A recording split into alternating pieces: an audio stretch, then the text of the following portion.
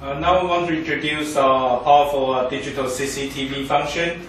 Uh, first of all, this uh, workstation uh, also uses a digital multiplexer connect to the dual monitor, and also we're using a, a, big screen TV to simulate a remote workstation which control entire digital CCTV wall.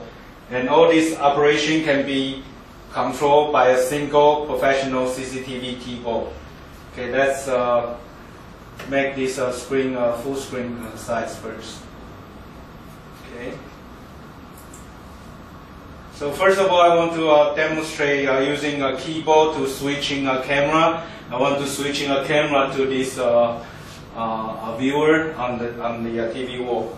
So I want to uh, type in the monitor number, view number, and then camera number to do the switching. And then switching this uh, PTZ uh, camera over there. I can also uh, change the view to a full screen view.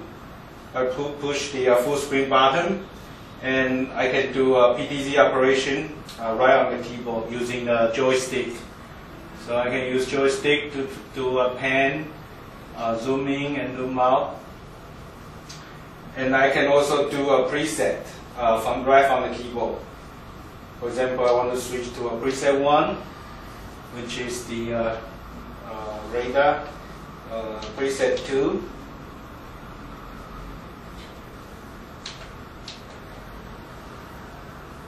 Okay, a closer view and want to go back to home position. Okay, that's our preset function. Um, okay, let me uh, switch to the uh, uh, another camera to show you the playback mode monitor 3, view 1, camera 1.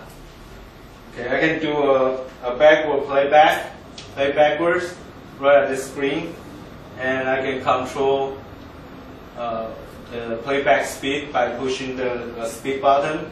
You can go from uh, one one speed, uh, one time speed up to 30, 32 times speed, and I can push a button to go back to life.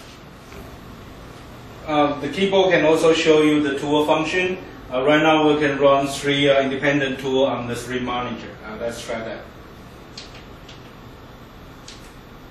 So turn on the tool function on monitor 3. Tool function on monitor 1. And tool function on monitor 2. So all three uh, monitor can run tool independently, just like a traditional CCTV wall.